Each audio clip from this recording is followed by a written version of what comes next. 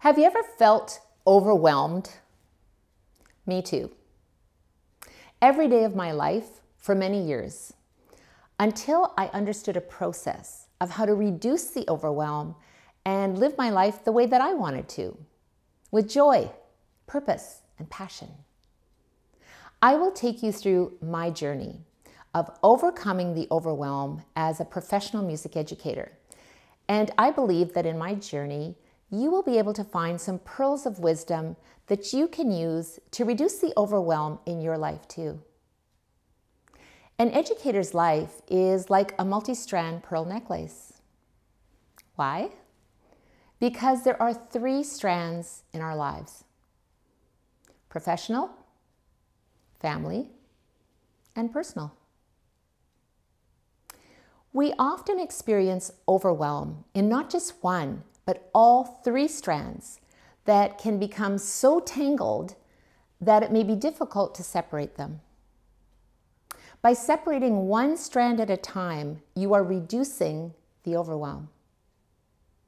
For me, it happened during three separate events. Yes, events and experiences in your life can help you untangle your strands. Let me take you to the event when I untangled the first strand of my professional overwhelm at the coffee shop. I was invited to attend a music teachers meeting at a local coffee shop. The discussions on the business of teaching, finances, and curriculum were intimidating. Overwhelming questions entered my mind. But I sat firmly on my hands, afraid to raise them in fear of asking a stupid question. The professional overwhelm of feeling inadequate. Imposter syndrome is very real, like you don't belong and you are not worthy. And I felt it deeply. There's always someone with more degrees, more experience, more knowledge, but that does not mean that you are not deserving or capable. I watched the body language of the other teachers as we talked over coffee. I could see that they were just as nervous and embarrassed about asking questions as I was. If no one was going to ask those questions, I would never get the answers. And neither would they.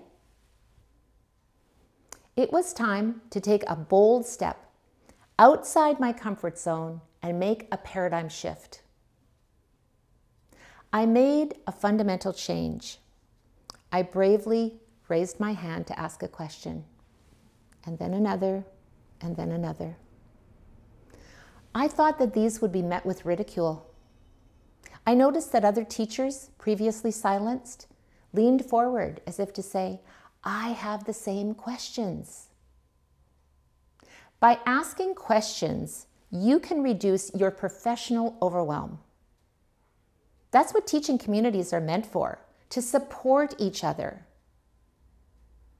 I had helped others by asking questions and collecting answers as a group. These would have been left unanswered if I didn't have the courage to raise my hand. I untangled the first strand of the pearl necklace by shifting my paradigm from comparison mode that made me feel weak to community mode that made me feel strong. May I invite you to untangle this strand with a paradigm shift to reduce the professional overwhelm in your life. I untangled the second strand of my family overwhelm standing in the doorway. This doorway divided my home from my music studio. Like many music teachers, my music studio was part of my home. There was a door that separated me, the teacher, from me, the mom. As I passed through the doorway, overwhelmed with family activities, I shouted to my daughter, Clean your room, do your homework, brush your teeth. I have to go teach. I transformed into me, the teacher, from me, the mom. And I found that my tonality and my attitude changed completely. There was no shouting, get your books to the piano and sit down immediately. Instead, there were questions about their day and a transition into the music lesson. At the end of the day, as I opened the same door that I had shut before class began, my daughter was standing there in the doorway, waiting for me. Her big brown eyes looking up at me, she quietly said, Mom, when you come through this door, can you be the teacher on this side of the door too? That moment, I became the student. I understood what my daughter was hearing and what my daughter was feeling. From the day that I became a teacher, I pledged to be empathetic to my students. But empathy was needed beyond the music studio. I untangled the second strand in the pearl necklace by opening the empathy door of understanding and meaningful conversation with family. May I invite you to untangle this strand with empathy, to hear what they hear and feel what they feel, and reduce the family overwhelm in your life. I untangled the third strand of my personal overwhelm when I opened my jewelry box. I remember looking at my mother's pearl necklace laying in the jewelry box. Thinking of her, I wondered, what are my expectations as an educator, mother, and human being? And I was overwhelmed with a long list of desires and obligations. And I asked myself, how did my mom achieve everything that she did? I got the answer as if she was talking to me and saying, accept and reduce the overwhelm of expectations from yourself. Know that you can overcome it by simply living each day and each moment as it comes with grace.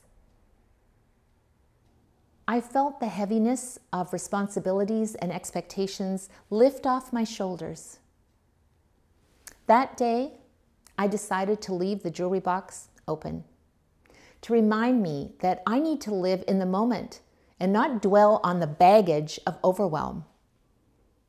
Being able to take a step back, see the big picture, and then simply start with small steps, the little things, just as each little pearl creates the strands of your life.